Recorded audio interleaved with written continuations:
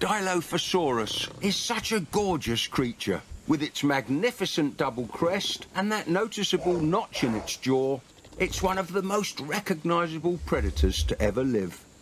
I'll never understand the guests who think it isn't cool enough as it is.